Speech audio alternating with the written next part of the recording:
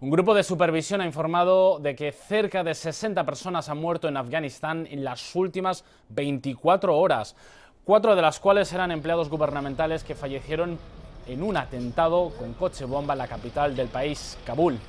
Hasta el momento, ningún grupo ha reclamado la autoría del ataque. La explosión coincide con la reunión que mantienen miembros del gobierno de Afganistán, talibán y funcionarios de Rusia y Estados Unidos en Moscú para retomar las conversaciones de paz.